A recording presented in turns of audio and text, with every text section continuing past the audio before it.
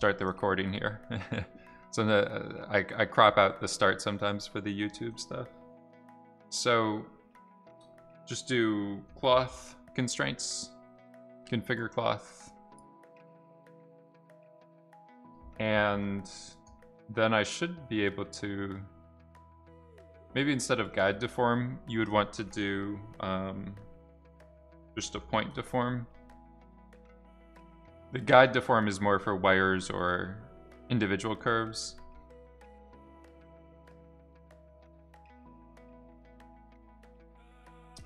Favorite pick between cloth, pyro, RBD, flip, and so on? I think pyro and smoke effects is my favorite. Again, volumetrics. Um, one of my favorite things to work on. I mean, you kind of use it. You can use pyro and like layer it on with a lot of stuff, but purely pyro is a pretty fun area. It's like pretty quick feedback and stuff to work on it. Like RBD can get quite slow and tedious dealing with all the constraints and, and technical um, data and stuff underneath. And then um, sometimes flip, it will just take a long time to mesh everything and then render it like refractive and, and visualize it like it, it becomes a lot slower to work on that kind of stuff. But so I, I, I enjoy the variation of everything, switching between it. So the one thing we were doing with this hair constraints here is pinning the root points to, um, that's basically like your glue that you were talking about, uh, Umair. Um, so you just do pin points here. Um, could see if this works. I'm not sure, but I think we could do like at p dot y maybe is less than one.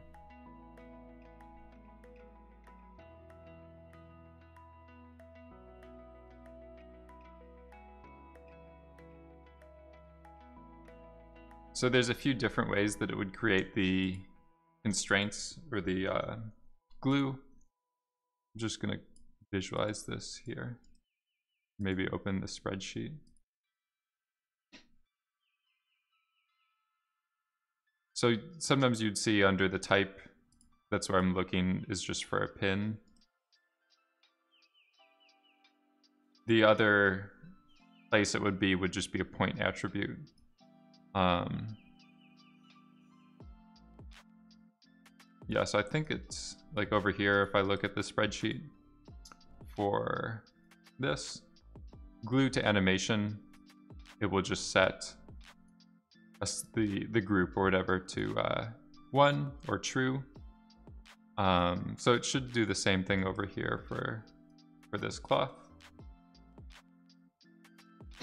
But it looks like it's possible that this group, you can't set it um, using these like, uh,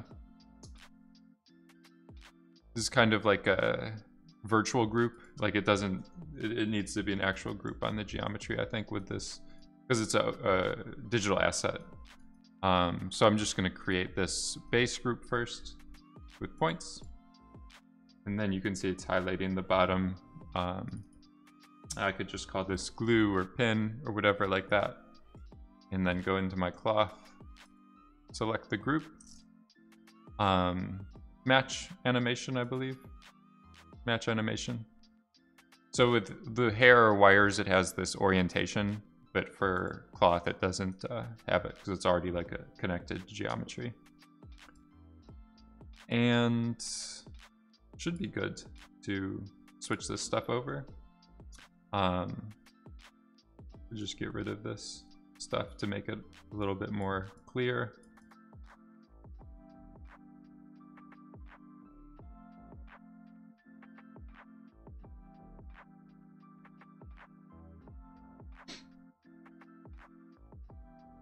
So this is a bit hard to see right now, but like this area here is glued to the to the thing that's twisting. Um, one thing I could do maybe is another... Let me uh, adjust some of this stuff. So with the bend stiffness, I'm going to increase that quite a bit. So we get something that's like um, can kind of stand up a little bit. So maybe like a harder, stiffer plastic or something like that that doesn't uh, bend over as easily. Quick question, can we const create constraints in SOP and control them in DOP as well as we does RBD? Or does it work fundamentally different in Vellum? Uh, they're moving those two things to be more like a unified workflow, I would say, or working similarly. Um, you can So all of these Vellum nodes are creating like this pink output is all, always going to generate constraints. Um, let me just visualize some of this stuff. So maybe I'm going to increase this group uh, range right here to like grouping more of the base of this cloth.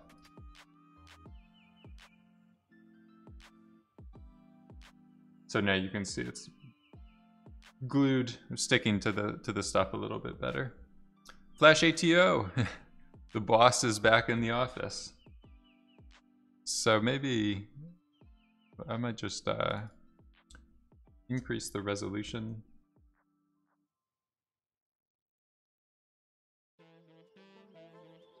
So it's kind of glued. Maybe we didn't need too much just decrease that uh, glue distance. I'm kind of thinking of this as like the glue distance. So that's how I would say is like the easiest way to um, stick freely flying cloth to a certain object.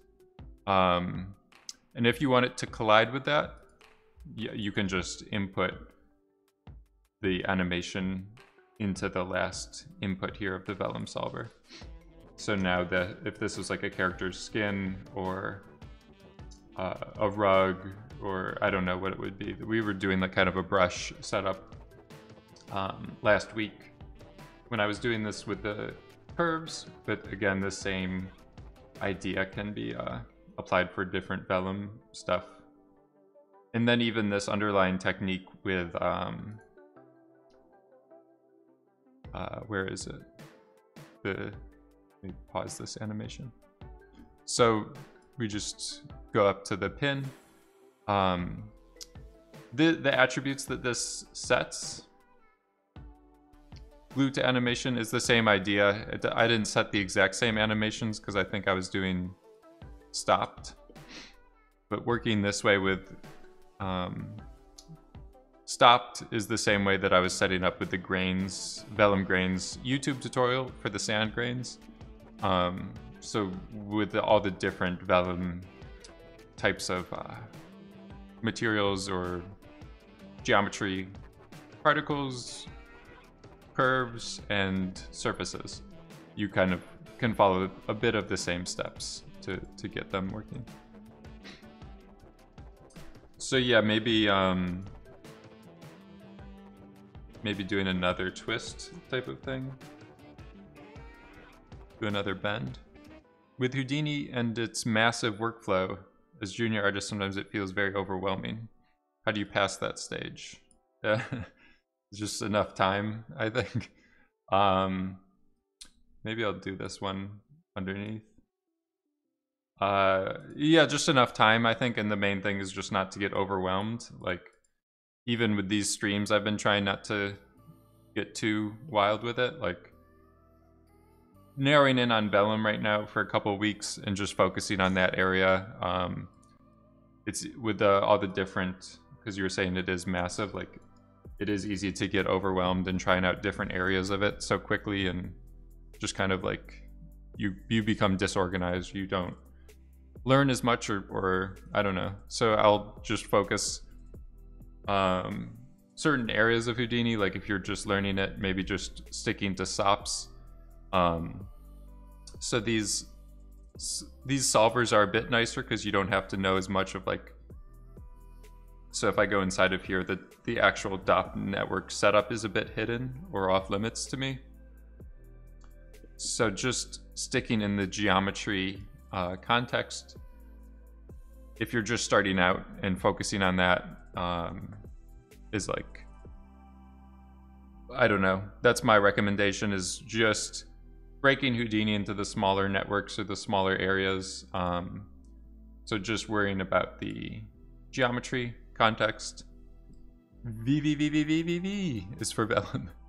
Um, but yeah, and then breaking up the things you're trying to learn into smaller goals, like spending a week learning how to make like a procedural tree or something like that. That's like kind of quantifiable tasks or things like goals that you can hit instead of just it's easy to, to look at Houdini in its entirety and think like uh, I'm going to spend one year to learn all of Houdini, but then like breaking it up into subtasks or smaller goals that you can more easily like it just becomes a more achievable kind of uh, thing and less daunting, I guess overall. Vegan nuts, how's it going? Valentino Laz, thank you for the Twitch Prime. Start easy, make a tree. so I mean, I don't know, like it depends how you're making the tree, but there's the L system stuff. Um, so this will kind of come with like a, a bit of a tree. Um, and you can even do animate like generations to control animations. So like if you were very close to beginner level, this they do have some randomness you can add in. Um, but then just doing like copy swap to make branches or trees, yeah, I'm kind of just trying. I kind of just got hung up on this, but that's overall is uh, my approach is breaking it up into smaller tasks. So yeah, I'll add an additional bend here. Um, ooh, look at that pretty cool. Whoop. so I think I should be able to do um, capture origin. All right.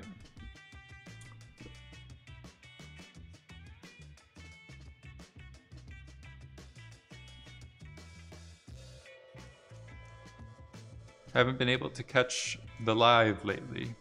Glad to be here.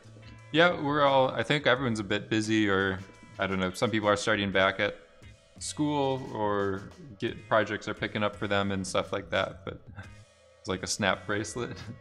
it's a bit like that, yeah. Um, but yeah, we're, we're all back. Good to have a pretty lively uh, crew today. So yeah, we'll do, um, could probably keep going with this sine wave. We have the function here, sine creating this like signal. Um, to this was like rocking things back and forth. And I'll just copy this and do a similar thing for for that. Maybe this one we don't want it um, as frequent. So if we make the frequency of this sine wave half as much then you could see we have like a little bit more complexity to the motion. So it's like two two signals running at different frequencies. And then maybe this uh, I don't know. Could be a bit too much, but we'll see. So now we put everything together. We have this. Might go and we don't need as much stiffness.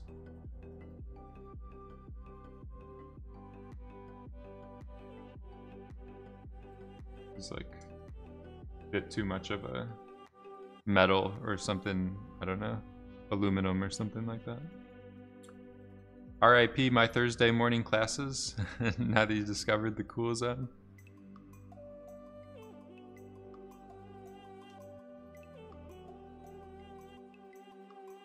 A new song? I don't know, I, I haven't added new songs recently, but the folder I'm pulling from is like seven or eight hours or something like that. So it's possible some stuff wasn't um, heard before. Naranjos, we're doing more vellum stuff. Um, Umair was asking about like gluing cloth to objects. So I'm kind of doing a bit of that right now. Um, gluing it to this animated like uh, panel or uh, quad or whatever, this strip. And then gonna be doing a bit of balloons um, in a in a bit. 10 or 20 minutes maybe, get into some balloons. Um, so the, the balloons use a new constraint, or at least in the sense of these streams, we haven't talked about it yet. But there's the um, weld constraints that can break. David Blaine, you saw him floating. He was the one that was floating in the in the canyon or whatever recently.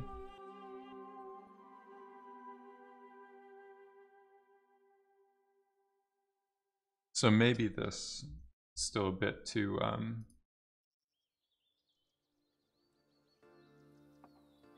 I think I was just setting it to be too too high because I had a lower resolution grid before.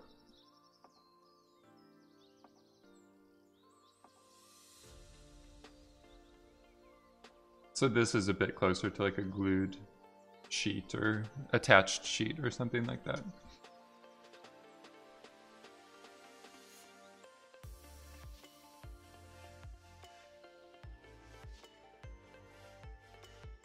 Inspired by Houdini. Pulling tricks out like Houdini.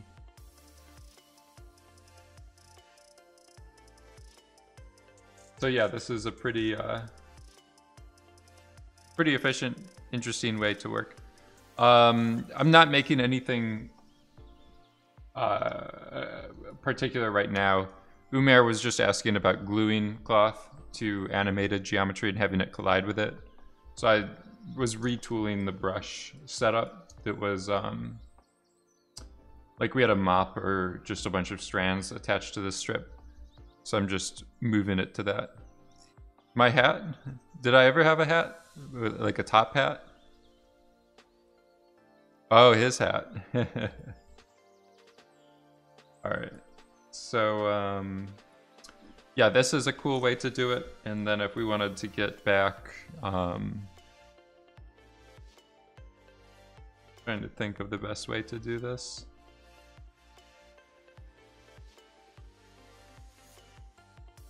the hat disappeared.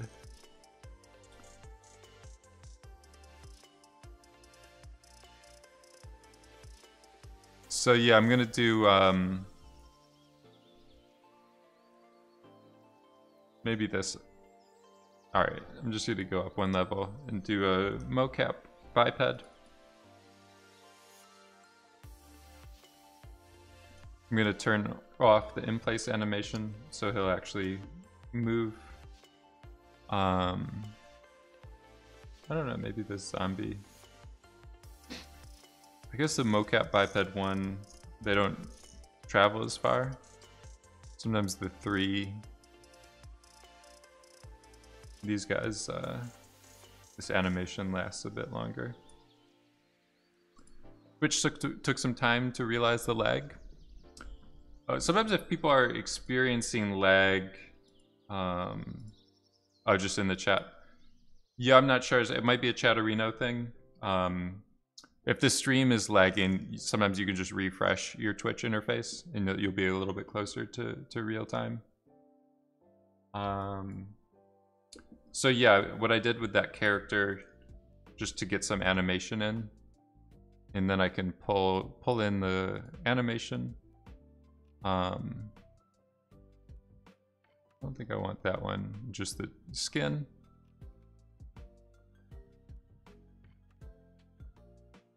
So this is going to be the character. I think I can just scatter maybe like 10 points to him. And uh, just turn off the relax. I'm going to do copy the points with the grid. The feather Oh, the stream before the feather? The, uh... Cool zone. It was a bit of a failure of a cool zone. I felt felt a bit uh, bad about it. I'll I'll see if I I think I have it still on on my hard drive somewhere.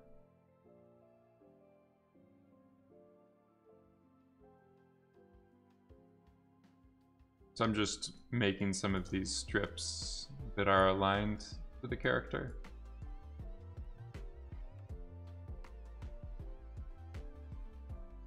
Let's see what happens. So I've done this, uh, I think, before, but like one of the things you can do, you make a group on the base geometry. So this is going to be, we'll just maybe call it stuck in this case. And then you can do the group transfer. So this is a somewhat new node, but it's pretty useful. Um, so just by based off of proximity, we can transfer any group. We'll just do stuck in this case. Um, I think if I press the 9 button,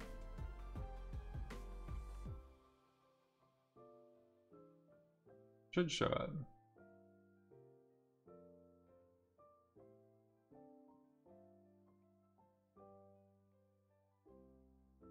Looks like this is transferring other groups as well.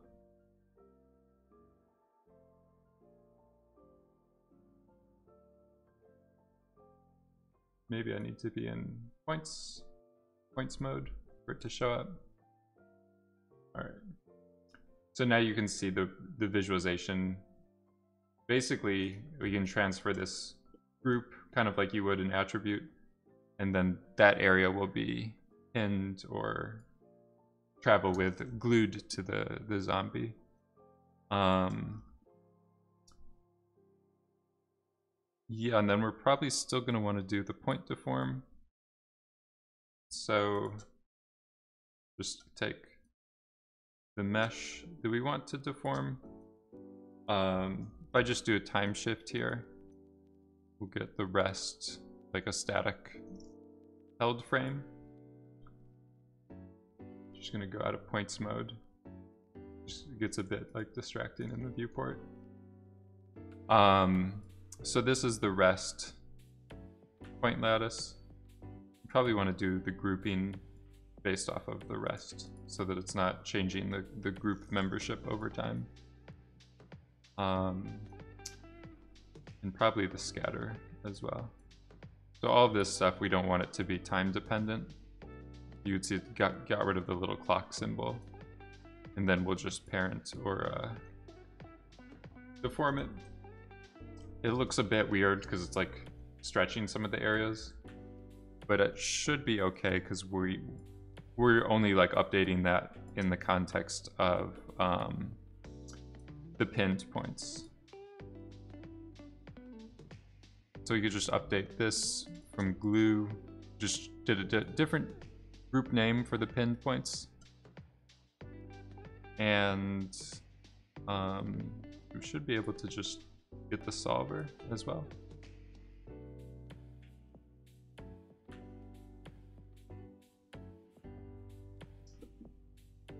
And then I think I'd, I'll probably want to decrease the bend, just something a little bit closer to cloth. Let's see what happens.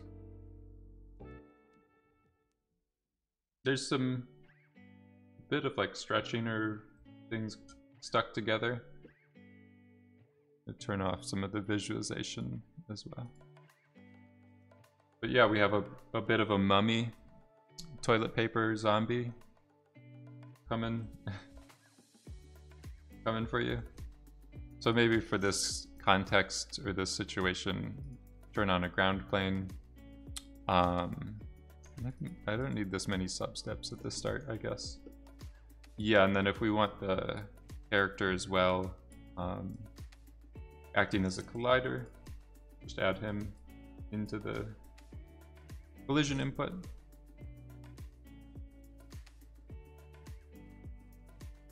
And then there it is, glued. There's a bit of these intersections, like you might want to do some SOP procedures to the D-intersect, um, they do have the, what a quick lesson. yeah, it's it's pretty cool. Um, pretty simple the way that they've they've made things with this like SOP implementation of these solvers. Like traditionally with DOP networks, it would take a lot more time because you have to build like a lot of the stuff from scratch. But this having this pre-built is super useful. Um, but yeah, so like the detangle, um, by default, the previous position field of this is, is empty. Uh, if you just put in, that's what causes it to error, error out. If you middle mouse button, you can see it says no previous position attribute specified. Um, if you just type in P, then it will basically use like itself. Um,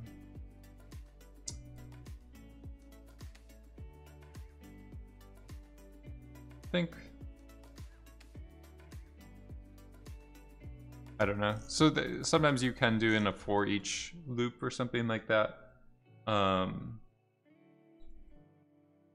you could basically like mask out other geometries to only run it an individual strip at a time. Um, could try to set that up real quickly. So just do like for each connected piece. This connectivity will analyze like 3D connectivity. So each island or each 3D strip will be run in its own iteration of this for each loop. Um, this connectivity node makes a primitive attribute that's the class. So each one is getting its own integer number assigned to it. Um, I think what we can do, I'm just going to hold down Alt and drag um, this first one, uh, the begin node, and instead of having this set to for each, I'm just going to set it to fetch the input. So right now we have this one that's getting the individual strip iteration that it's running over. And then in this one is everything. So if I do a primitive wrangle, um,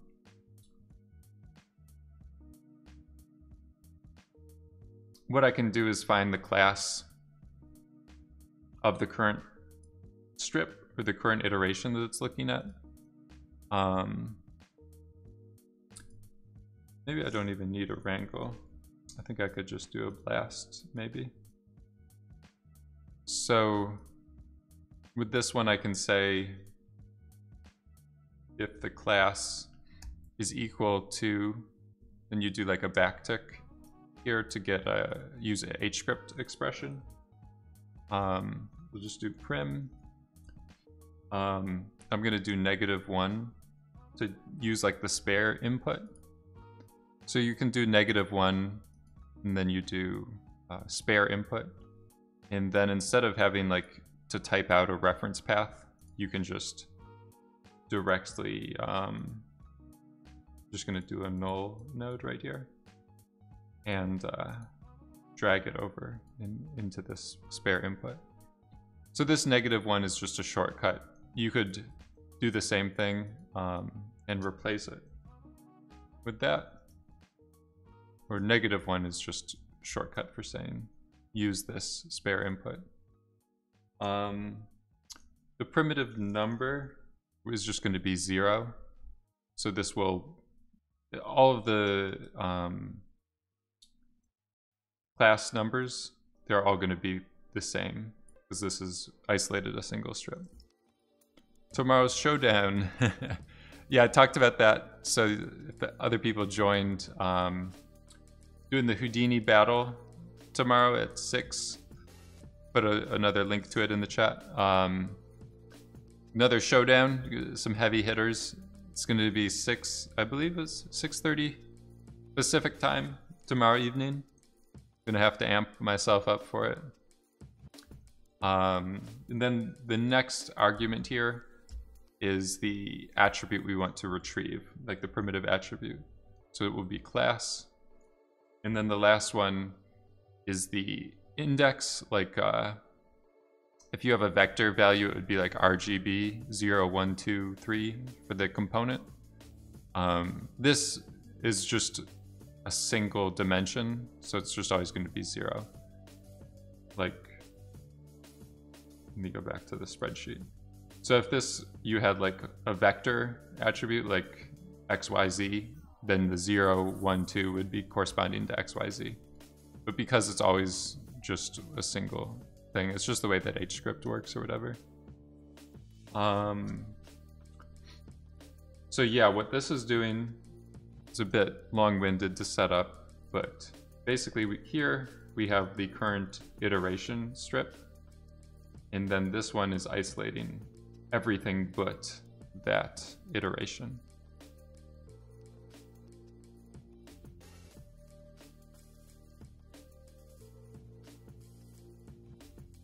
So we'll just say current strip. And this is everything except the current strip. So now if we do a detangle, um, instead of having it do self collisions, then we can plug in the everything else.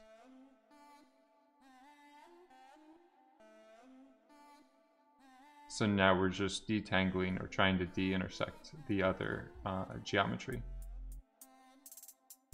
So this looks a bit weird. Um, you might be able to play with like the thickness to get better results. Um, looks like it's just having a bit of issues with things that are going like right through each other.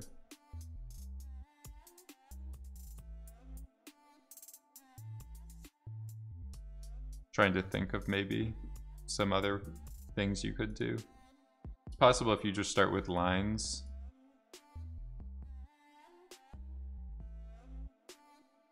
Like the, the individual lines can de-intersect each other a bit better. Um,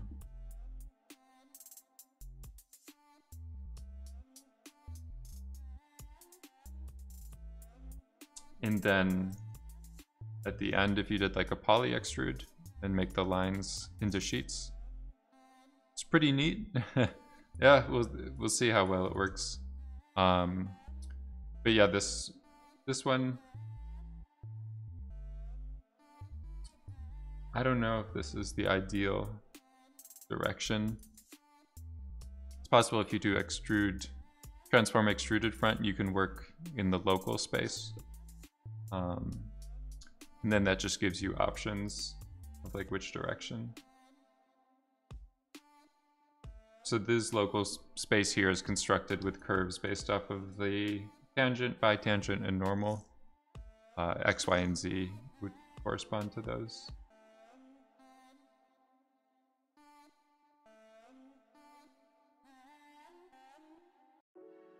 Maybe divisions is setting like the thickness, the uh, not really the thickness, but just the number of uh, the resolution of the extrusion. Um, so yeah, those are, we'll call them de-intersected. Um, maybe we want to do more. Maybe these lines aren't as long.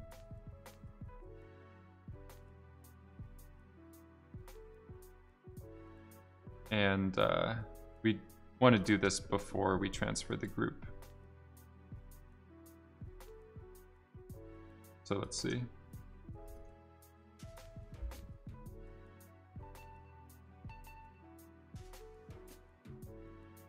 Works a little bit better. It's, we got rid of some of that stretching or the tearing or whatever that you saw at the start of the um, with the bigger sheets. Um, we might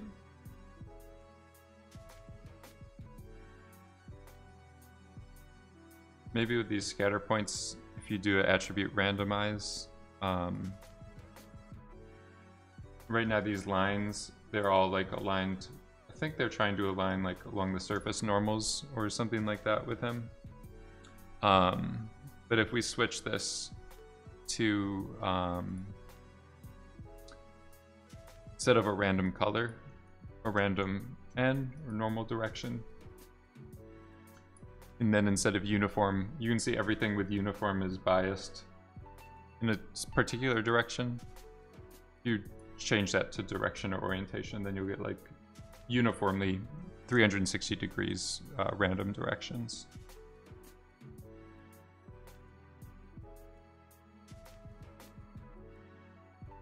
Let's see how, how hard we can push it. 270.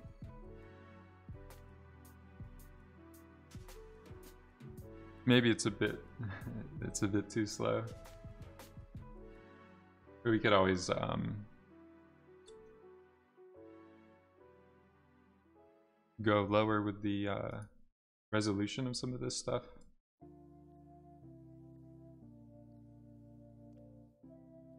I think my bending is still a bit too strong. Yeah, so now it's a bit closer to real time. We have our mummy, uh, I don't know, Mr. Fettuccine Alfredo. Yeah, with Marvelous, it's pretty fast. It's just round trip to another software. I haven't tried Marvelous that much because it's I, I don't think that it works on Linux. But um, from what I've seen, the the uh, the performance of Marvelous and the results, like it's really high quality. I've been pretty impressed with it. But yeah, just like Houdini, the procedural nature, being able to do the group transfer to stick things uh, in that method, like that's why I'm always still stuck in Houdini is because of that um, flexibility that you have with working with other data sources, other geometry, all unified in one software. Um, but yeah, there's definitely like, in terms of individual plugins, uh, Marvelous was pretty promising. The um, Embergen, the Pyro, or the Fluid Solver for GPU, that gives you like pretty quick results but then it just becomes a question of like whether you want to jump in and out of different packages and export import files and stuff is can be a bit cumbersome yeah i've seen if you search on vimeo or youtube or i don't know wherever whatever media site you're you're using uh, if you search for embergen um, you'll see some pretty impressive results so yeah this here it is. The glue, glue to character and collide setup is pretty cool. So just move this into a new folder, back up the file. Not sure if Charmin is gonna like the ad campaign. This could be a get ready for a Halloween costume if you're making your like zombie invisible man or something.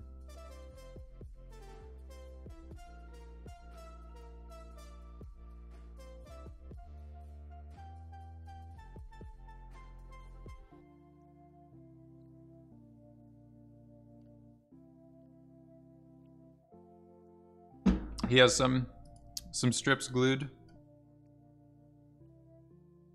Some uh what is it? There's the one character from the Addams family. The thing? Or is, that it? It? Cousin Itt, right? Cousin? Yeah.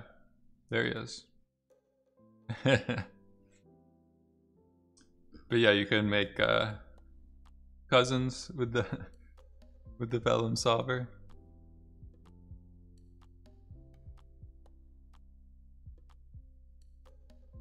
Cousins, uncles, sons, nephews. So uh, we'll put this in uh, ZZ Top. Um, just make a new folder. September 2nd.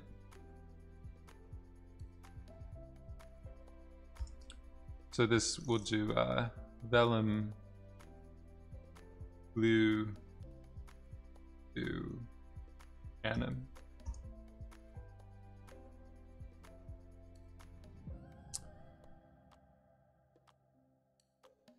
That music video, the Major Lazer, yeah, yeah, we were talking about that um, a few days ago, I think. Um, just how the how everyone started doing this technique and like where it came from or whatever. But um, yeah, it was Method Animation that Method Studios that did the that project. Yeah, so they they were one of the ones. Um, we were also talking about the universal everything like characters. Um, so they did a bunch of walking ones like this. Um, I don't know when was used for FMX. Yeah, methods did. Um, they applied the same technique for like an intro to one of the talks or something like that.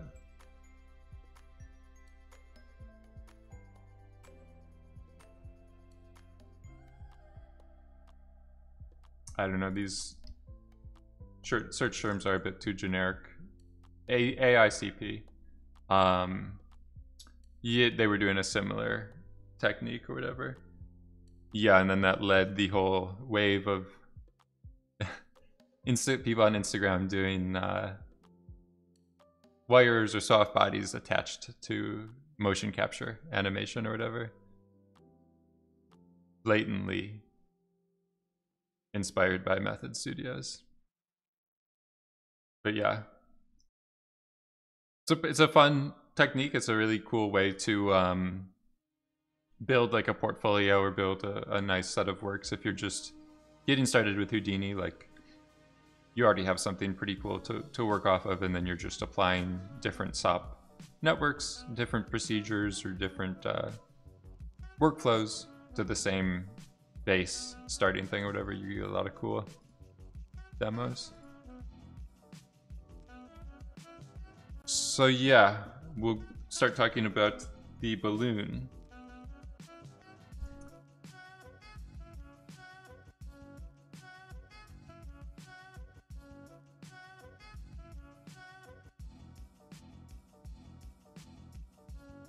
Yeah, I think it was like 2016 when that the Major Lazer video came out. It was pretty uh, pretty impressive, especially for the time. Like, I think Vellum wasn't at all in Houdini. They had their older cloth solver that was a bit slower. Um, some of it might have just been like custom stuff. You could always, some people like before Vellum, people were just using the grain solver with the grains constrained together to kind of um, give you a cloth effect. Like you could get a, a fast soft body sheet with with grains, uh, and some people were doing that. So yeah, this is going to be our shape, maybe kind of balloon type thing. Just move it above the ground. Um, we'll do another cloth. Configure balloon. Could do that. I think this just gives you the cloth and pressure at once. Deflate for a tire, like uh, a flat tire. So we'll do the vellum solver. Yeah, some people have done the tire like ripping up and getting uh, torn that's a, that's a cool idea. So this pressure gives you the, whoops. Let's go ground plane. Um, the pressure gives you this internal response, so it's like more of a soft body or whatever. Um, like without it, you just have it's not filled with anything or, or whatever. Not a flat tire, just compress a bit.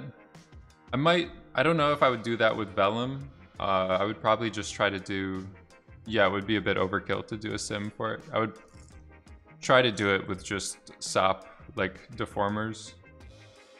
Yeah, rigging techniques. Um, so yeah, that's what this pressure is doing, is just providing the internal uh, resistance kind of. I think you increase rest length scale and you could get it. This is kind of like how much air is uh, pumped inside of it or whatever. Um, but yeah, and then they have the weld points.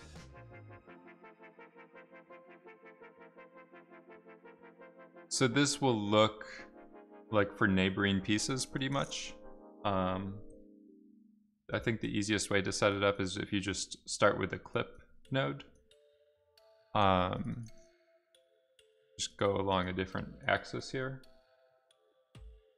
And then instead of keeping just the primitives above the clipping plane or on one side of the clipping plane, um, just move it to keep everything. You can see it's still making the slice or the cut. Um, this is just the start of a balloon setup. So we're setting up some weld constraints. We're basically pre-fracturing the balloon before uh, setting it up. So I think if you just do even the assemble um, egg, fancy egg, and randomize. So this assemble, you usually use it with RBDs. Um, I'm just going to use it here. Looks like maybe it's I need to switch this one? So it looks like this assemble is still thinking it's these pieces are connected. Um,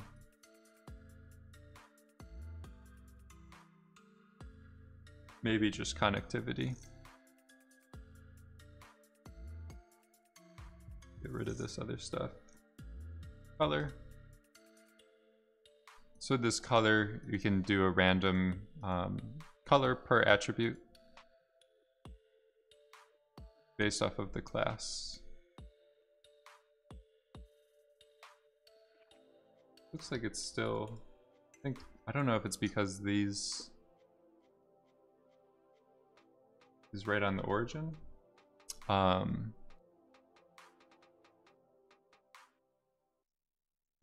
let me see what happens.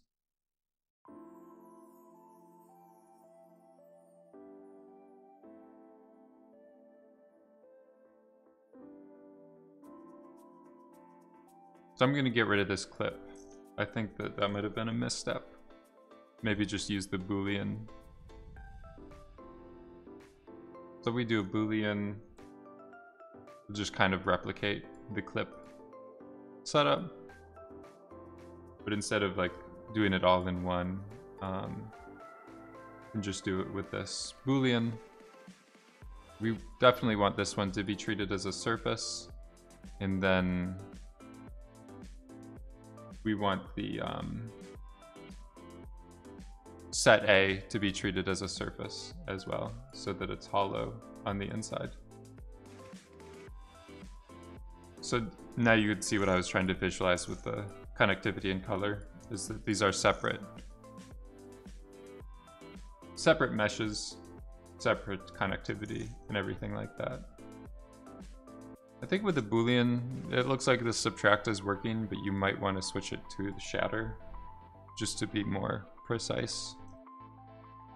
Romulus, how's it going? Seems like everybody's doing well. It's a bit busy. Busy vibes. Getting busy vibes right now from everybody. Um, so yeah, basically, we're booleaning just shatter or fracturing the shell of this sphere. And then the weld, now you can see it's creating uh, these little attached points. So it just does that based off of um, the proximity.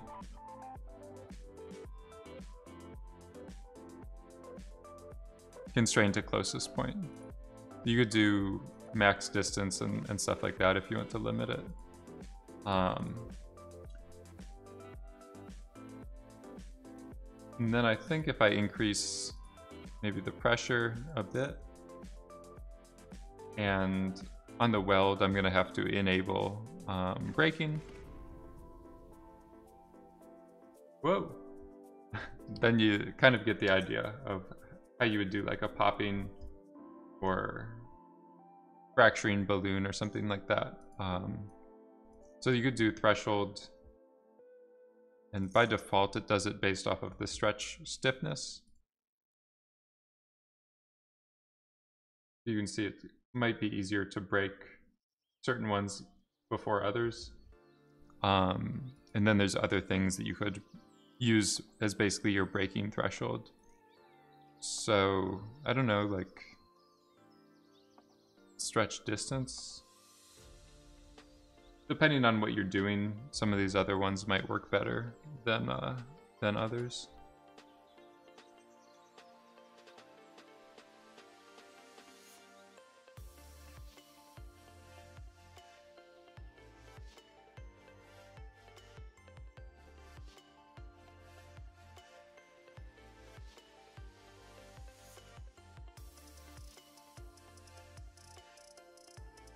So yeah. And then maybe with the grid, um, just do copy, transform. And uh, do rotations. And then a bunch of rotations. So now when we shatter, we get like a beach ball, some kind of uh, you sliced your watermelon this way.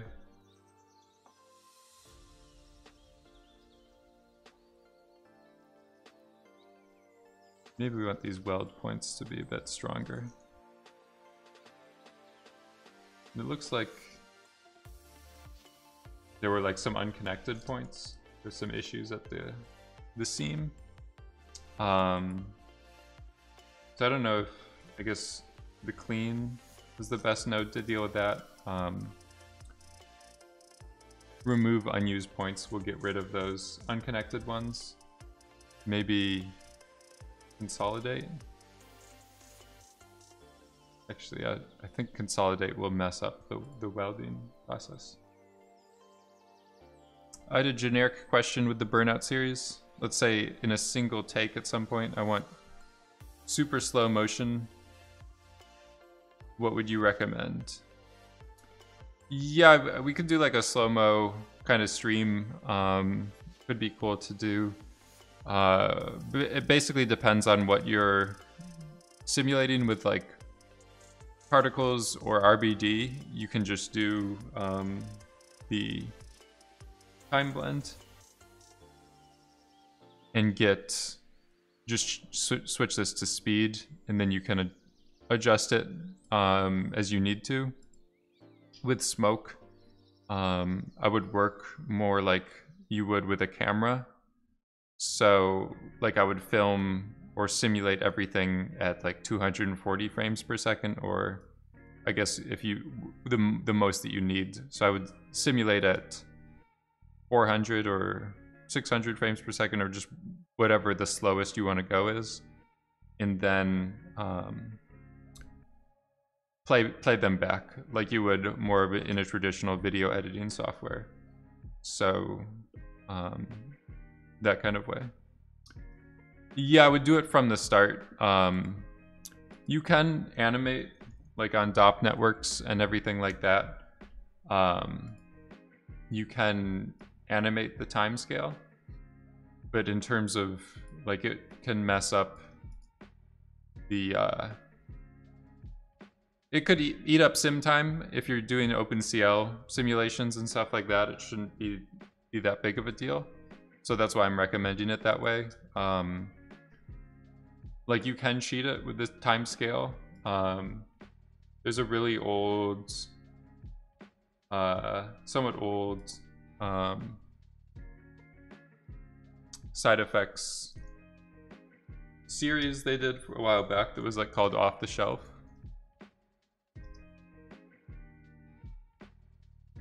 Um, with a volcano setup. I think this is it. Yeah, so in this one, uh, at some point Scott Keating talks about changing that timescale setting. Um, so he's making a volcano here, and he's basically saying, in terms of modeling this and setting it up, if you work at um, a higher time scale and then slow it down at the end when you need to like actually see like he's letting it simulate a lot faster than it needs to to grow and uh, expand. And then yeah I, I, can put this link in the in the chat. It's a quite old um, pyro workflow so it might not look the same. This is like houdini. This is from almost 10 years ago now but just in terms of the workflow of um, he's basically working in like a compressed time format for the start or the opening of the simulation and then ramping into slow motion portion so that he's kind of cheating. He doesn't need to simulate as many frames at the start to get to the part of the simulation that he's interested in in rendering or visualizing. Um, the, but the reason why I'm not recommending this for most cases is like especially if you're going to a slow motion of a burnout simulation or something like you can um, you'll get different uh, features like different all the shaping nodes like disturbance and vortex confinement or turbulence might work a little bit differently in different time scales even if everything is balanced the way that it should be just the nature of like grid-based simulations and simulations in general um, you'll get different results at different timescales. So you might run into a mess of like trying to tweak those kind of things, and then it's just easier to simulate more frames than you need with with more uh, substeps in terms of like using your time efficiently. Like you're using the computer's time inefficiently, but you have more time to work or whatever. Um, you can as well this time blend node will support retiming volumes. Um, so if you have a velocity field from your volume, you can like re-advect portions of the volume. Um, and that might get you close to, to where you need to be. But if you're going from 24 frames to 400 frames a second, that's maybe too much to push the time blend. Like you start to see some uh, flickering artifacts or or uh, stuff like that. Um, I think um, like when they added this uh, volume retime.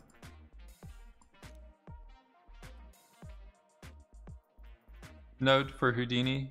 Um, the one guy, Ben Watts, did a tutorial or overview of it. Um, yeah, I don't, I, I don't know if there actually ended up being a tutorial for it. It might have just been the results. Possibly Intagma did a tutorial. But basically like this new, he made this using the new time blend retime method. So you can get some of that kind of like snapping uh, results. But I think even in this, he says like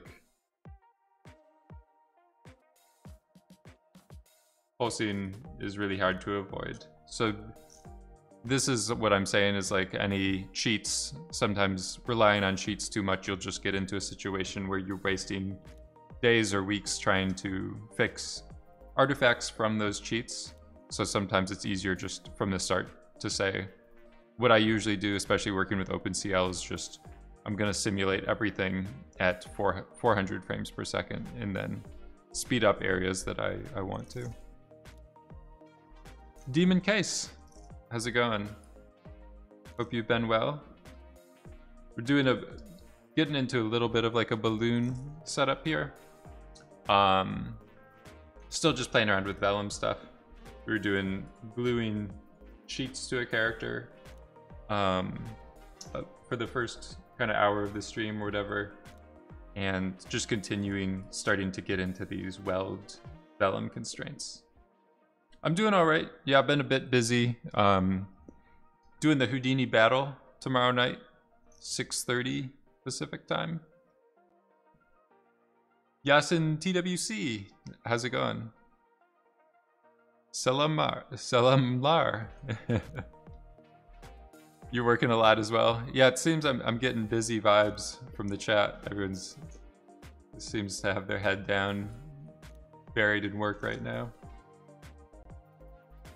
You'll be cheering in the chat.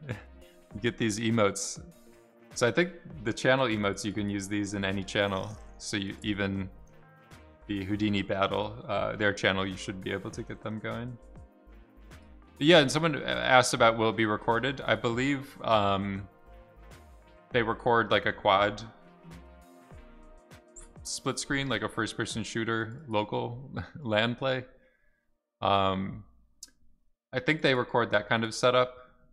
And then as well, um, each individual uh, participant records their POV stream as well.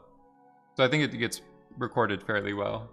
But um, yeah, if you can attend it live, it should be. They have like commentators and all that stuff should be fun. Yeah, they'll record individual artists, and I think the participants before have recorded their their own uh, workflows as well. It's just better to record multiple on multiple ends just in case something goes wrong, I guess.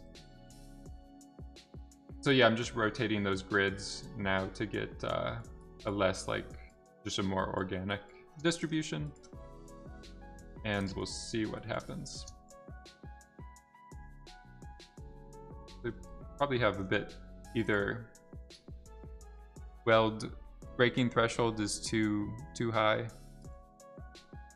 Vegan nuts, Megaplex. Yeah, he's he's super good. Um, his characters are, are pretty cool. And then the other people, um, who's it? Nick Debinar, I think. And uh, I don't remember the the fourth person, but yeah, it's a pretty heavy hitting lineup. I don't, not really going in expecting to win. I'm just gonna try, try my best. Yeah, they do the multi-view, multi-twitch view or whatever. Um, so yeah, we're doing, uh, looks like the weld constraints are too stiff.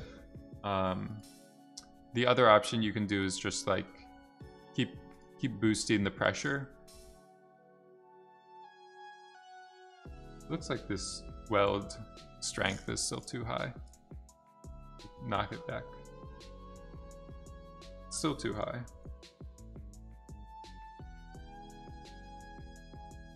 This one's starting to pop. I'm thinking maybe the bend stress. Yeah, it seems like stretch stress is giving us a better result.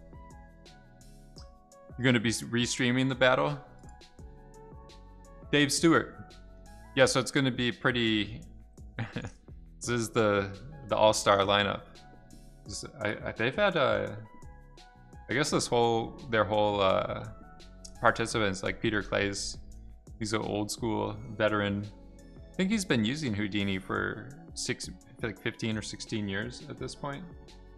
Jake, Jake Rice, another legend. Adam Swaab.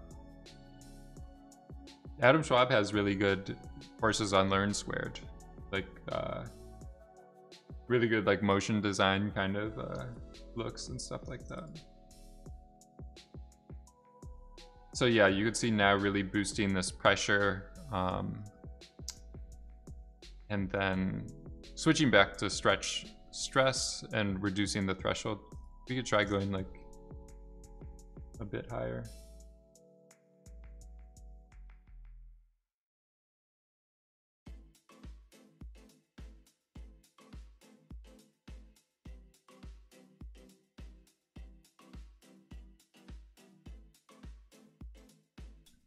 Maybe with the cloth.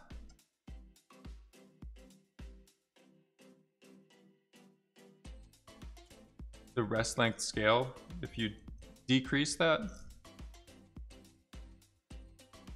after they after these pieces pop, like it's possible you can get them shrinking back down like they're bits of rubber. that's like already stretched to be into this shape kind of. So it's maybe a bit more like a balloon. You're saying each, uh, it's already kind of like stretched out and then it, as it, after it pops, it returns back into its smaller area. Um, the other thing, like after you can see it's already, you can see the welds or the splits in certain areas.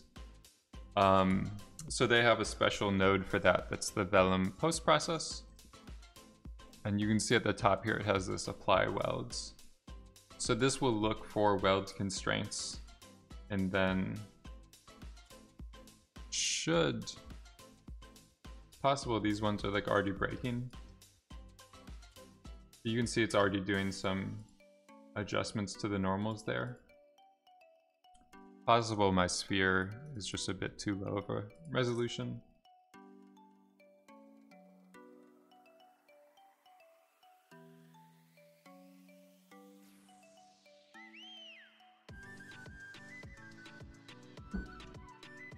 This post process is meant to um, analyze the welds and kind of like adjust the geometry so that it looks un unbroken before the welds are uh, torn. So these areas right here are, it's kind of hard to see, but they're already like areas that are ripped apart, I believe.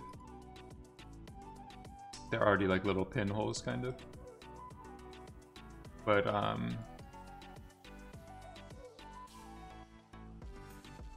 this is kind of hard to, see. Maybe I need uh, just having normals on the geometry in the first place.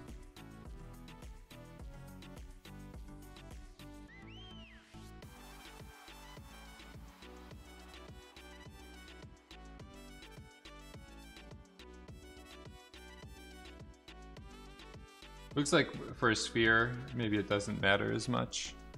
Um, but yeah.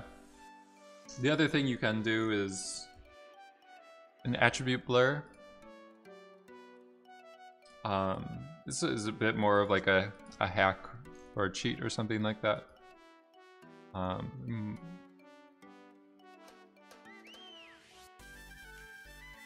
so I might have to do use before it.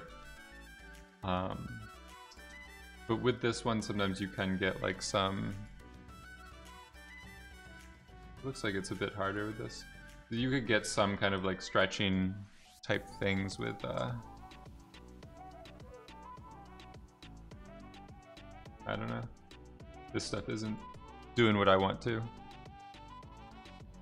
It looks pretty cool, but uh, it's not doing what I expected.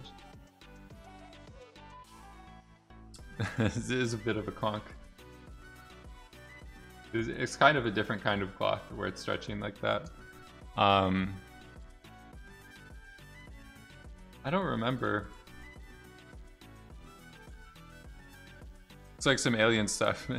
yeah, so with this blur workflow before, like what I've done, um, I've, I've used it to simulate that kind of tearing. Um, I guess you just do like a grid. Um, maybe something close to 50.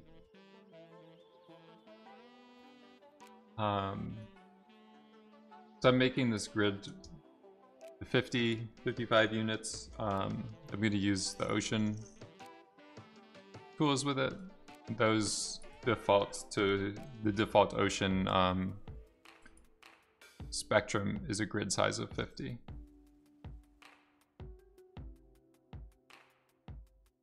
So if you do something to get some waves, I'm just getting like an interesting noise pattern. Um, then you go back to the clip. So just deleting the peaks of the waves and then doing this blur.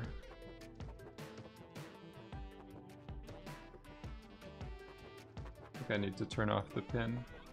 But yeah, you can see now it's kind of like stretching paper. or skin or something like that.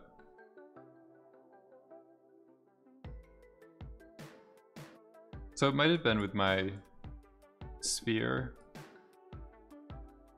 It's pretty pretty cool kind of organic tearing effect. Um, but yeah, I don't know with this sphere. Might it be that I just didn't have enough resolution? Or it could be because it's like already spherical to begin with, it's just shrinking it down too much.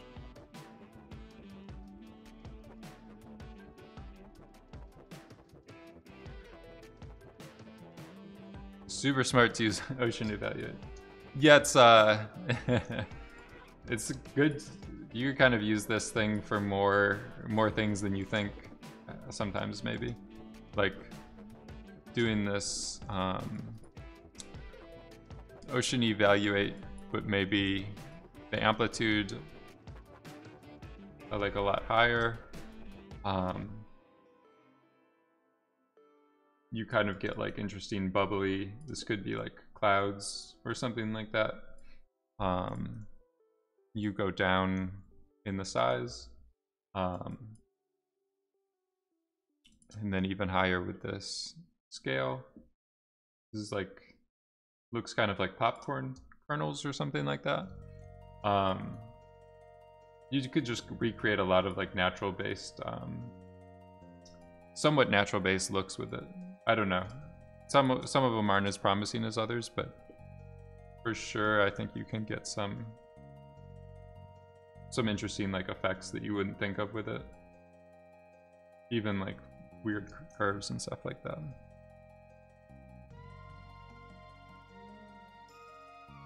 But yeah, I don't know. I, I'm not getting as much success with it for this. Like maybe doing volume preserving.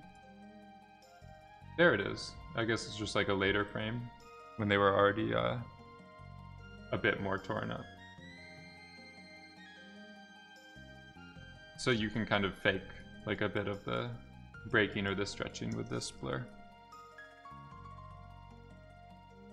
Maybe not even as much.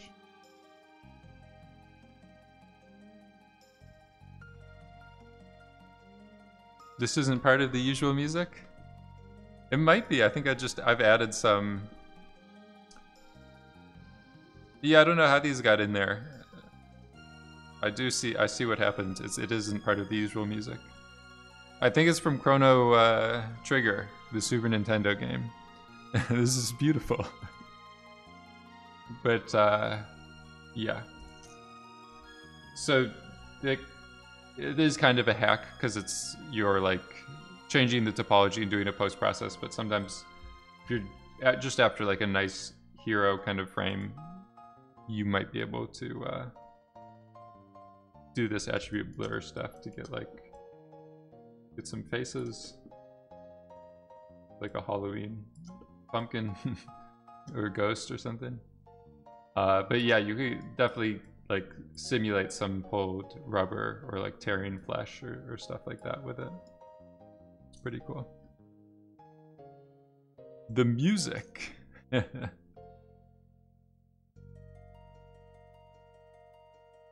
the harps out. So maybe these welds um,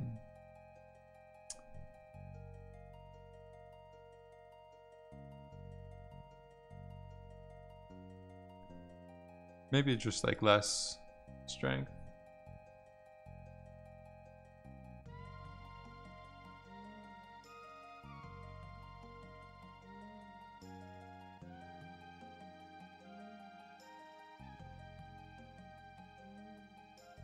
I don't know. It's um, it's looking a bit. Maybe it's just too much of this pressure stuff.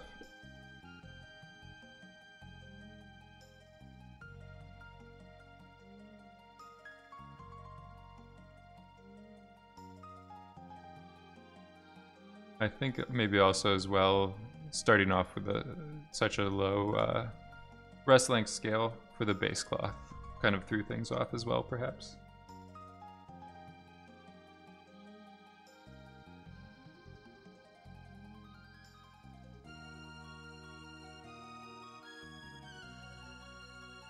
We know the different playlists. so yeah, that is pretty amazing. You guys realized that even before I did, that it wasn't uh, in the typical playlist. I, I, do need to go in and update my uh, default folder it's pretty soon. I think it, overall it gets a bit like repetitive.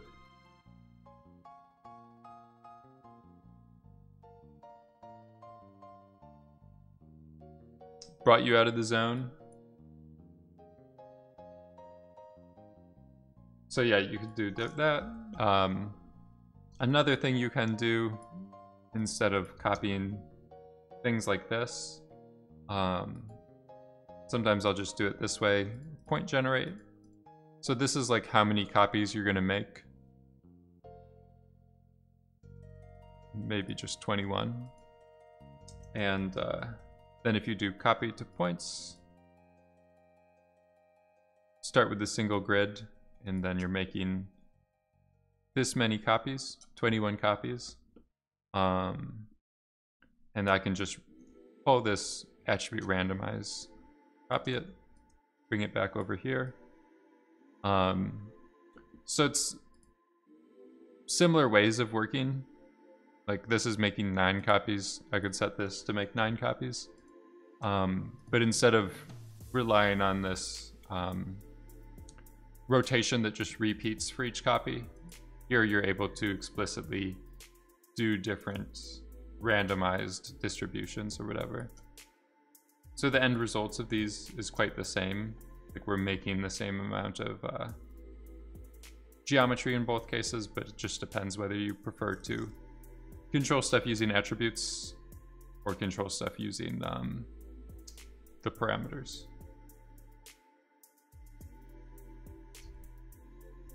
Let's take a look at some different stuff.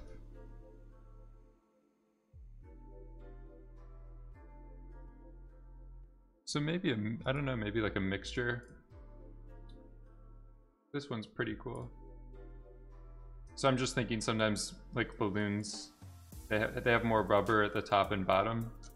Um, so they seem to uh, like burst I don't know, the bursting motion like tends to look a bit different at the top and bottom because of that. Let's see what this gives us.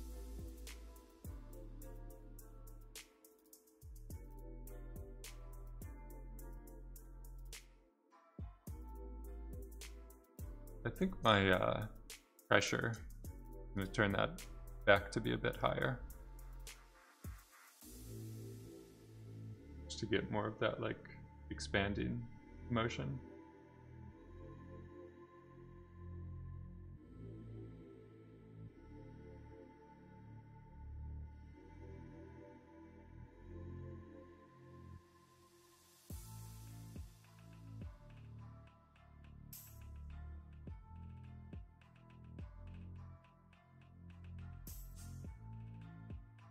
So maybe just a very subtle um, with this blur.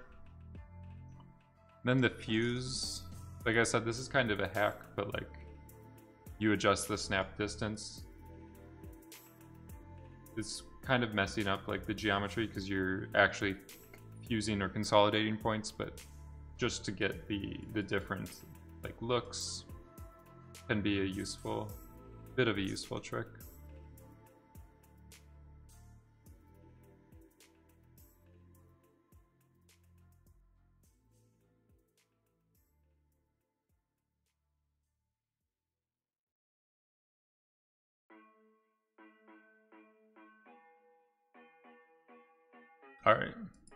So maybe switch this to a different shape. Maybe try a box.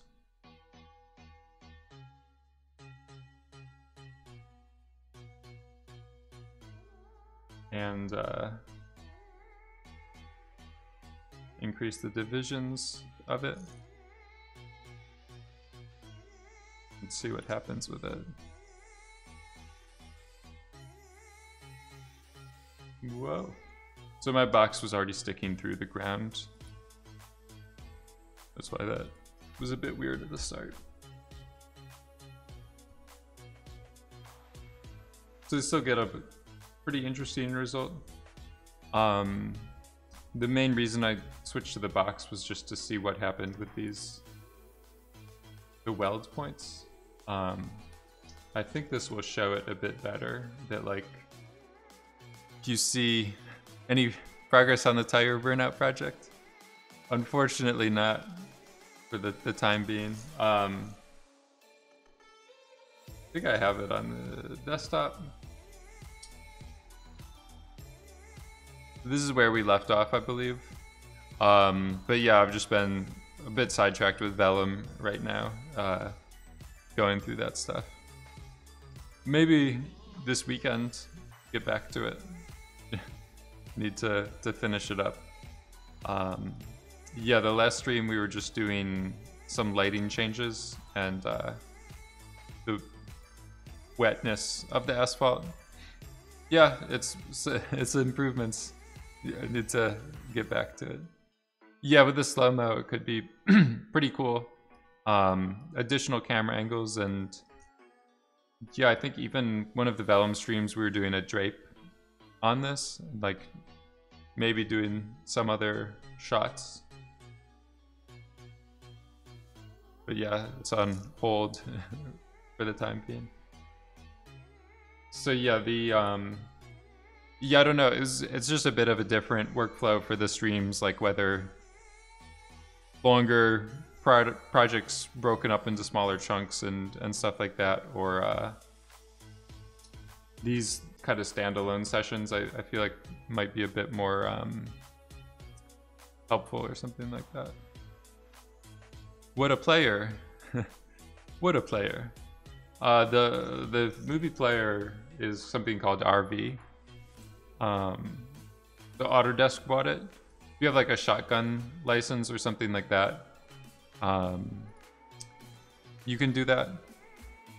There is uh, alternatives on my resources page of the website that's uh, called mrViewer. It's like a open source recreation or alternative of um, that movie player. But RV is is my go-to for right now, just because I know all the shortcuts and stuff like that. Um, so like if you go to the annotation tool, um, you can go in pretty quickly and like draw these. Uh, maybe my my Wacom tablet got disconnected. You could go in and draw these notes, annotations and stuff like that. So sending screenshots to clients or making notes for yourself um, or just motion references and stuff is pretty useful in that sense just all, all kinds of hotkeys and stuff like that that i'm kind of stuck to to use using vegan nuts thanks for stopping by yeah it's good to good to hang out i think maybe it's the spatial blur um maybe subdivision. I'm just trying to think about getting rid of these. Uh, possible if you do another normal calculation after this weld. I don't know. But I've seen it get a, a little bit better results before.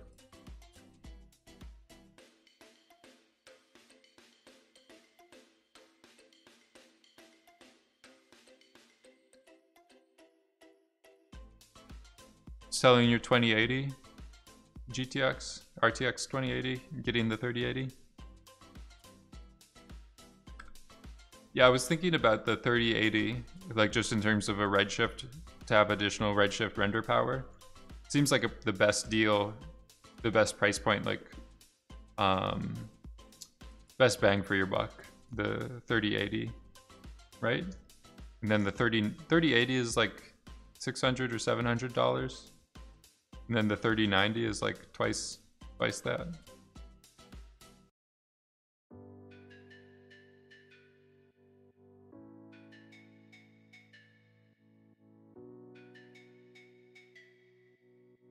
So yeah, I don't know if it's maybe just my the resolution of the geometry.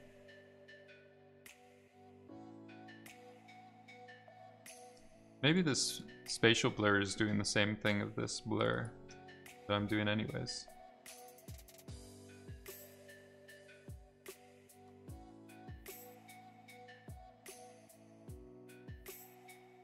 I'm not sure.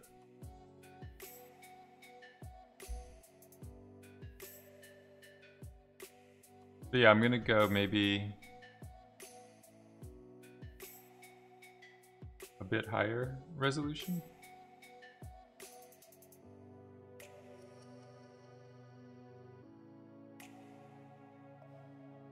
Let's see what happens.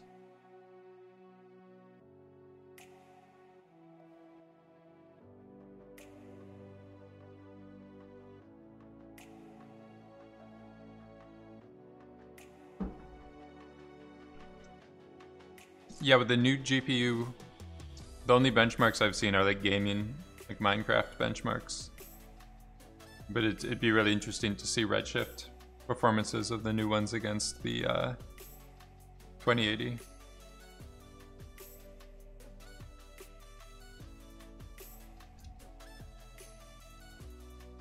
So yeah, this is just adding some more resolution of the mesh. Starting to get some some interesting patterns.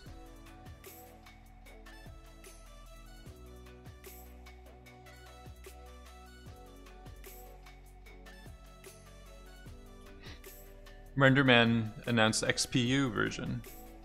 I haven't, I, I didn't even read anything about that. That's like a GPU implementation?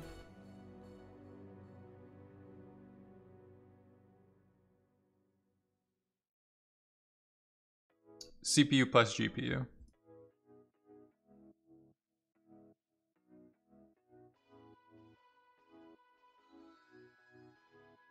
So yeah, this is starting to get some pretty cool uh, results.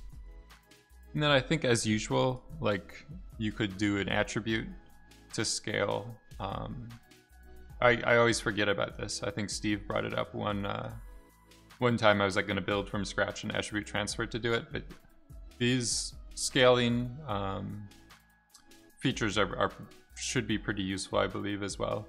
So like if you have a noise or you're painting on the mesh or something like that, um, you could have basically paint the area that you want things to to to uh, kind of explode in. Um, so take a look at the maybe the visualization of stuff. Um, I could do like a sphere.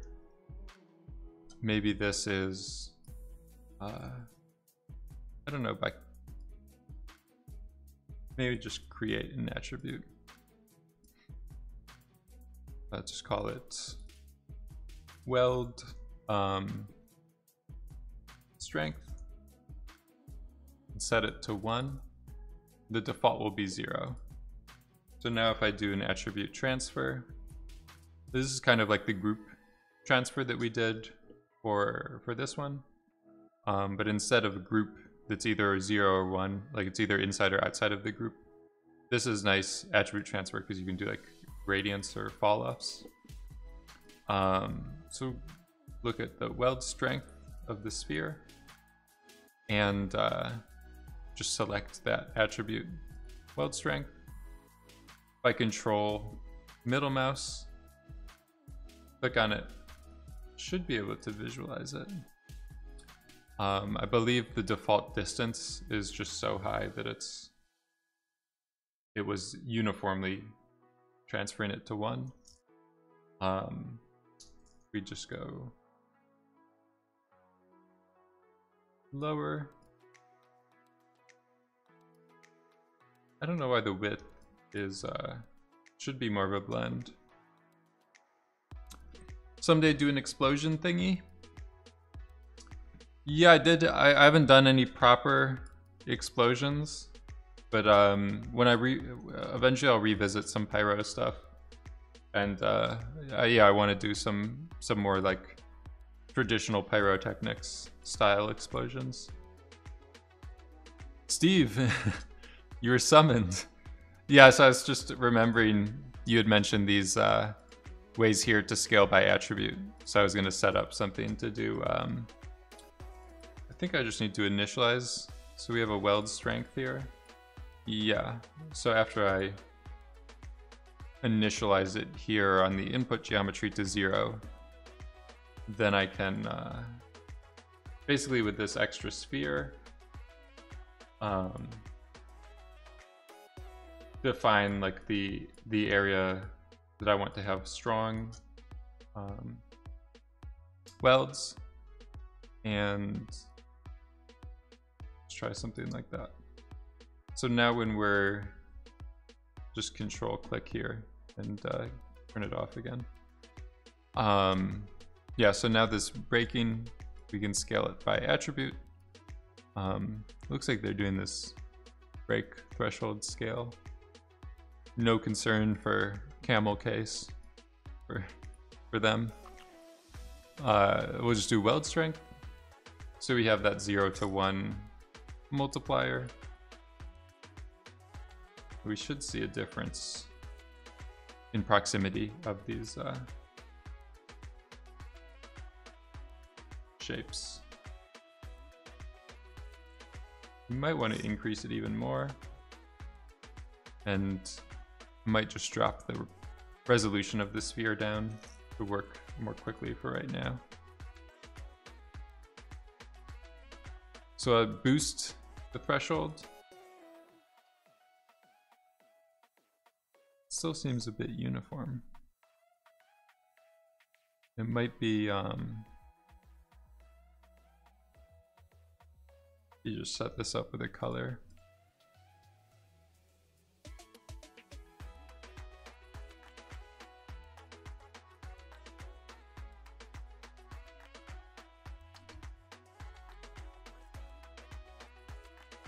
Might just be that this is still not a big enough difference.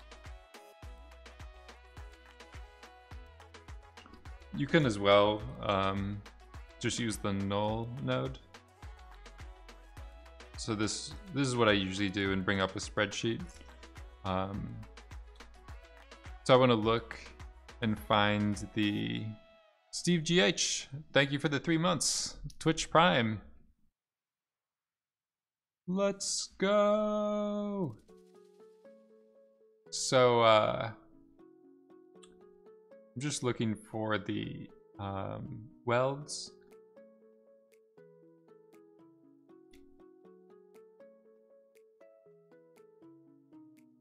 I think what I can do is um,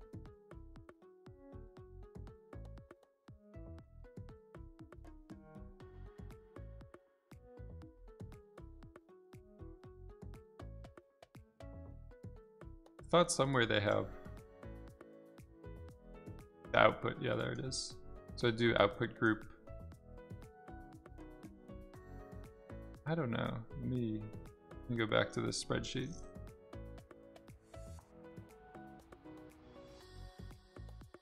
It's possible that the, these welds get set on the point attributes. Yeah. You can see the break threshold. The break threshold is showing up on the point attribute. So negative one, I'm guessing, is just a point that isn't a member of the weld constraints. But we should be able to uh, visualize it here.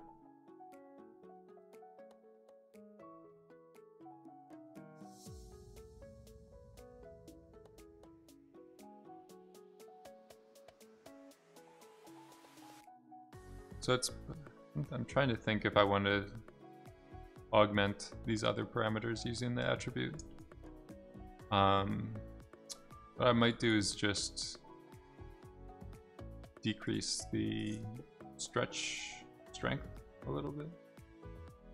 Yeah. So now you can see we, we, we do get a little bit of a ability to like art direct the strength. So any anywhere close to this sphere will be harder to break the source uh, geometry or the source constraints in that area.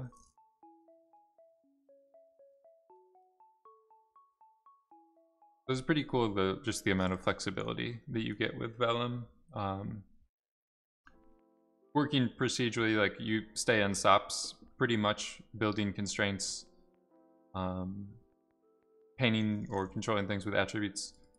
I, I think the entire time today we haven't even had to go inside of the the area here. But yeah, sometimes I do just add this force to add a bit of turbulence to things. So like going back to the first character setup. Um, could turn this on. We want like these ribbons fluttering, fanning around a bit more with some uh, world space kind of turbulence. Could do maybe um, some directional force, like along the z axis. Um, negative 10. Like he's, this is going to be blowing this way. Some more of him walking through a wind tunnel or something like that. Let's try uh, 45.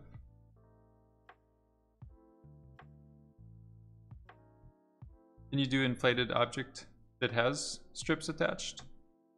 It should be possible. Um, I'm not sure how easy it is to couple like the constraints and stuff like that. Let me see what happens here. It's pretty powerful, but yeah, it's just, he's struggling to uh, to get through his wind.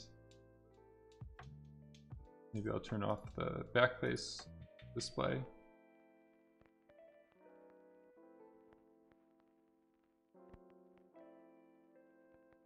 Um, so yeah, if we wanted to combine some of this stuff,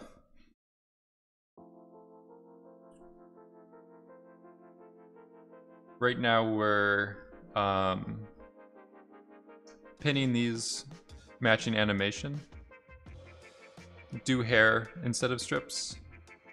Yeah, I'm just trying to think of the, like, how this stuff works. I guess you just could try it. Let's, let's think. So we'll just start with the inflated object again. Um, hair hair gen. Give it some some fuzz, some peach fuzz.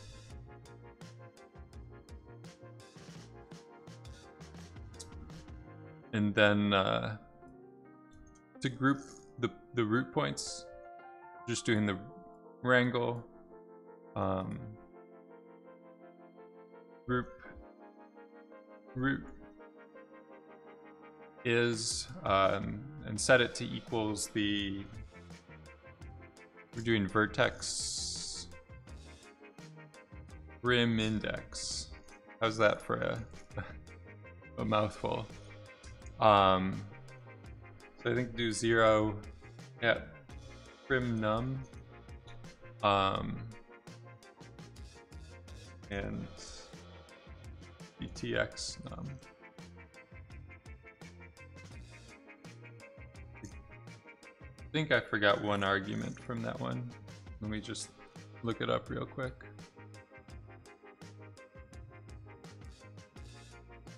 So this is the way I was usually group, grouping the loop, the uh, root points. So it looks like I don't need the primnum.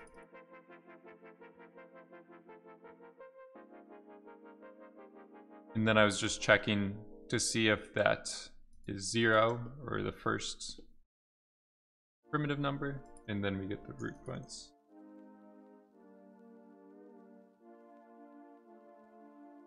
So then these are the ones we're gonna attach. So on Twitter, I did a a um. Just make sure this doesn't have anything. Um. All right. so yeah, on Twitter somewhat recently, I did a note of this. Here it is. Um, I, I just forgot it off the top of my head. But yeah, this is a handy way to group roots or tips or certain portions of a line. Um, before doing this, I would do like a for each primitive and then group things doing like group by range. You can get the start point this way, I think, if you just do like one. But it was just a bit more unoptimized or whatever, so this is a, a bit quicker to run over lots of points. Um, all right.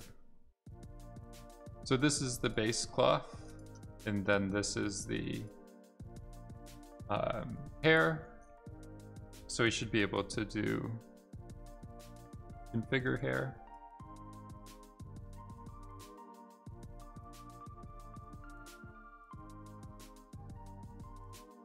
So th yeah, this is the one thing I'm not sure about, is how, how you would set up these pin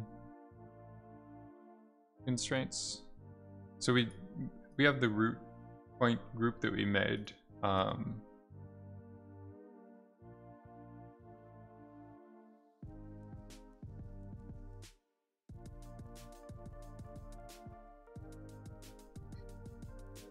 I'm guessing like you'd have to do maybe a SOP solver or something inside of here to keep moving them to um,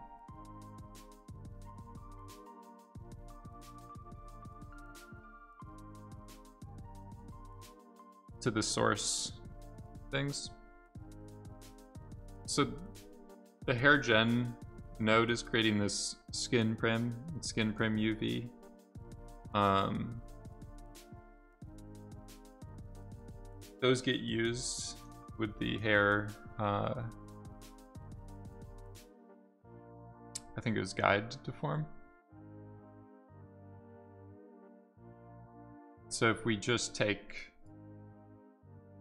before we do hair stuff to it, um, like the constraints, if we just take the curves and uh, the rest skin and guide deform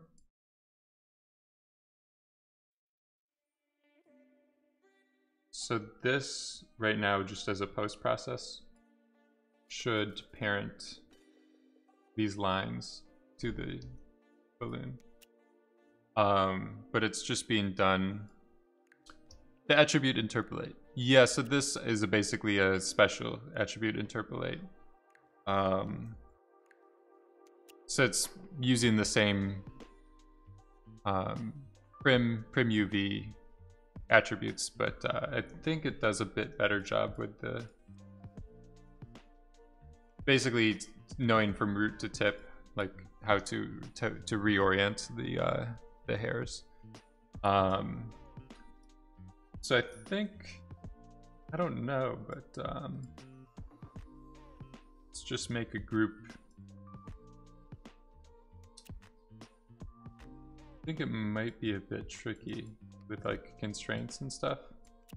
We could try it. So this group, we'll just call this hair curves. Um,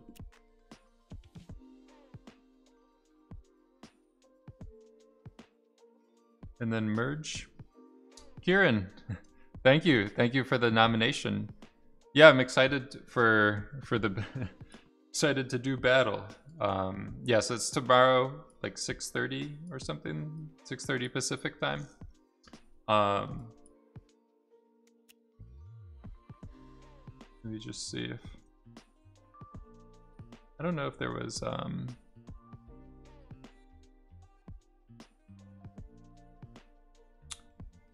I was just checking to see if there's specific uh, node to merge constraints. But yeah, I, I appreciate you nominating me, Kieran.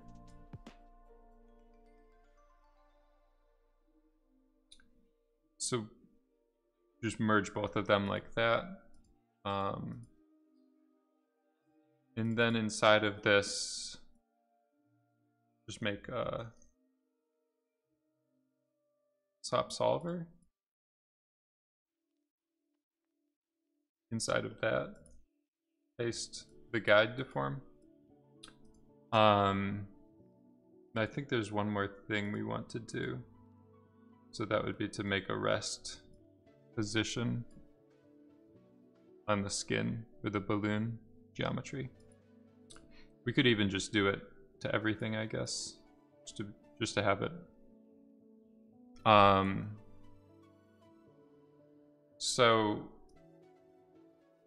what we want to do here, I don't know if this is going to work, but split, separate the um, hair curves, and then this is going to be this skin. Um, and then we do swap with rest and then the deforming position.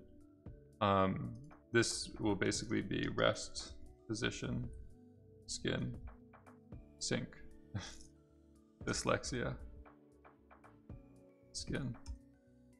Um, so now we have rest live. So this should update the the hair curves. Um, I don't know if like we probably only want to really do it to um, the root points.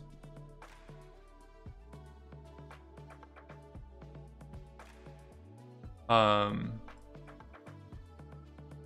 I'm just trying to think what the best way is to do that. Maybe...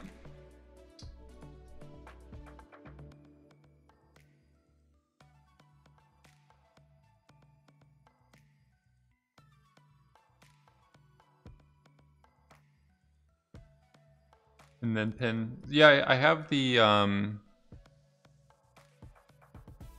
So I have them pinned to animation right now uh, the root points. I'm just trying to think. Uh, it's possible if I do this attribute copy. Um,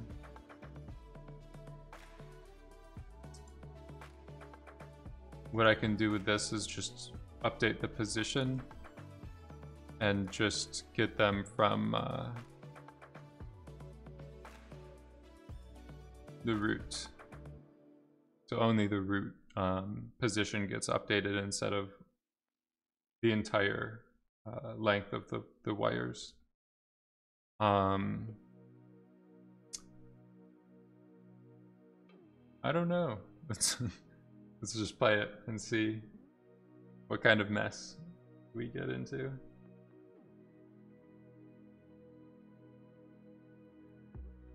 I think I was missing I think in that SOP solver I was missing something. I think I forgot to merge the skin back to, to everything else. Um, I'm also just gonna bring the frequency of this down. Um, maybe maybe turn off the welds for right now just to simplify stuff a bit. Um, so inside of here, I did forget to include the uh, the shell for the skin back to everything.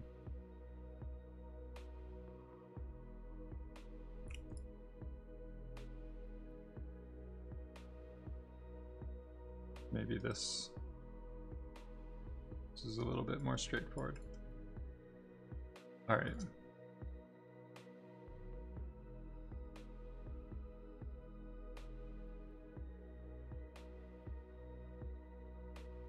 Looks like the constraints are getting messed up.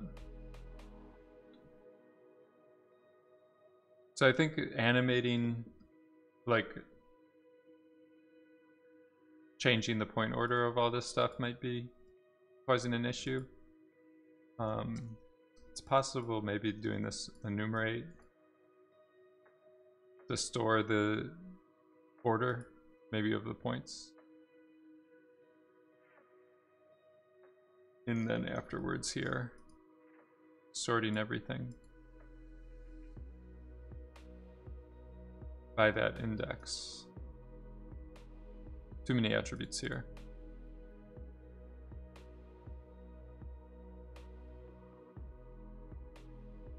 Still seems to be an issue.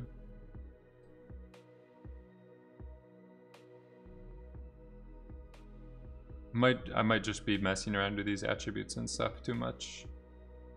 Um, let's see what happens. We just bypass this. You could always do it decoupled as like two different simulations. I'm trying to think.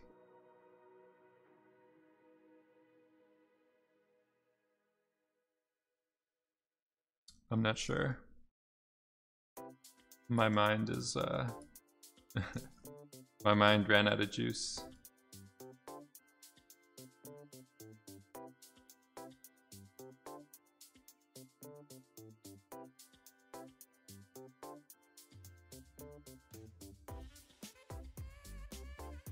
I think maybe this this SOP solver might be an issue because it's like not uh, operating on the constraints. Um, so like with this stop network, where did it go? Um,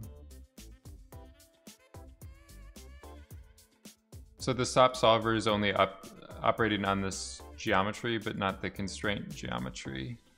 Um, I don't know if that's just messing with the constraints inside of Vellum is a bit it's a bit top level uh, advanced workflow. Um, so yeah, I'm not too sure. I would say, I don't know, without spending more time researching or experimenting this with this. Um, just gonna put this over. This, this will be um, the challenge. If anyone can get this file and figure it out, they'll they'll be the commander, the Houdini in chief. Um, but yeah, so I'm just gonna do it with the decoupled method. Um, so if I was to do it if I was in a pinch right now and the director, the client needed it right away. Um, what I would do is make a cloth and cloth um, constraints with Vellum.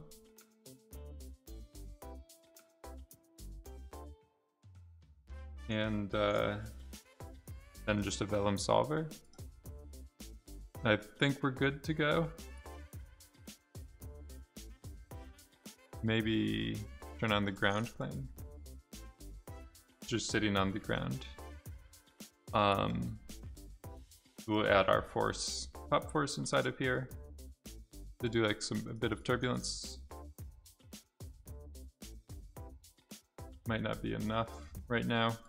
Um, I think we want some more points as well. All right. So let's by increasing that. I don't know if it's... I think starting with the grid right on the ground is causing it to uh, think it's like stuck. Could just be too heavy. Let's try sticking the wind. So I think to fight gravity, like you need it to be a bit higher in uh, in Y.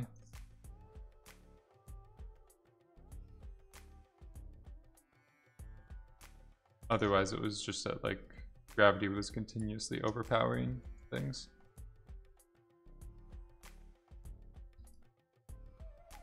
Alright. So we have some kind of magic carpet happening. Um, just looking at that result, I'm, I'm thinking maybe we, we don't have any bend constraints. So just starting with the cloth. This one has bend built in. This one up here, I think I should have initialized it to cloth if I wanted the same, same result either way. But now it's a bit more of a better simulation. It's like before I was getting a bit too, uh, it was like crumpled paper or something. Um, so yeah, this would be the base skin or cloth simulation. And then after the fact, I would try this. Air. So this skin geometry would be what you want to use to generate the hair. Um, maybe just less density, longer. Get the roots here. And then this is setting up the hair with the animation. Um, then we can just do another vellum solver.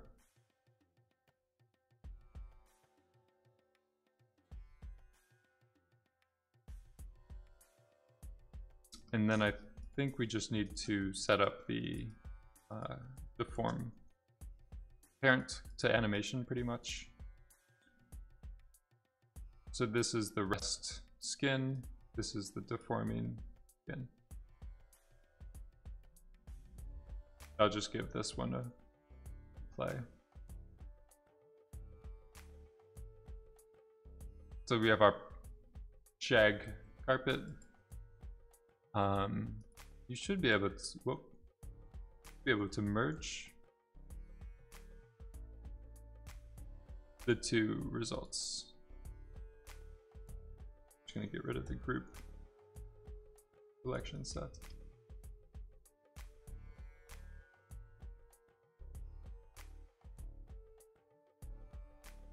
You kind of have something working here. Um, ideally, it'd be interesting to figure out how to do everything in one Vellum solver. Um, I don't know if it's partly limited due to I'm just working at the using the simplified Vellum solvers here. It's possible if you do adopt network, um, then you could have two separate Vellum objects and have them in the same simulation, like feeding back together that way. Um, but I haven't done enough enough uh, research to to figure this one out. But this would be my starting point if I was to research it, is to try out two different vellum objects, one cloth and one hair, and build constraints that way. But for speed, like if you really need quick results, you technically aren't doing as much like interesting simulation stuff. You might want to uh, include the, the cloth in your collisions. so it isn't going through the cloth as much. But if I, if I was in a pinch, I would just do it uh, this way to couple both simulations. But yeah, hopefully it's helpful for people. Probably going to be it for today. A bit of a shorter stream. Um, but yeah, still a bit busy with with uh, work and some other stuff, so we'll we'll leave it here back tomorrow evening or Friday morning for maybe certain people in other time zones. Um, I'll be back with the Lambo, back with the battle um, tomorrow. I am kind of procrastinating the Lambo stuff. Um, I've been meaning to spend some time on my end, like learning more about lighting for for uh, car paint shaders and stuff like that. So I want to do a bit more kind of like learning on my end before I press forward with the Lambo. Uh, but yeah, hopefully you guys are enjoying the, the Vellum experiments. Um, so yeah, we're doing a bit of welds today to do like uh, mid simulation breaking or fracturing uh, just for a balloon, but I think this weld stuff is pretty interesting like for doing even destruction. Um, doing like torn metal or that kind of like ripping of uh, plastics or any kind of like bendable, harder surface stuff with cloth would be a really cool um, thing to try to tackle. And then just fooling around with other gluing things. Um, I'm just going to get rid of this stuff. This was from the brush stream that we did a while back. So I, I don't want it to be super confusing. We already have enough things going on in this file. Um, yeah, possibly we'll get there with vellum. Um, plastic deformation, like the ultimate test with that kind of stuff is doing uh, a Coke can crush, trying to get the aluminum like stiffness and bending and plasticity of that material. Um, seems like that type of deformation is the most difficult to get with any nCloth or any like cloth solver or marvelous. It's it's always like the holy grail of uh, cloth solvers almost. So yeah, I'll just save this again. We'll just do, um, I'll just leave the name. Maybe do vellum glue to anim and welds. All right. Yep. We'll be back tomorrow evening. Check the link.